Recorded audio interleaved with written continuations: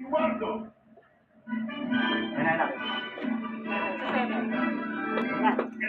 mesdames and messieurs, it is with deepest pride and greatest pleasure that we welcome you.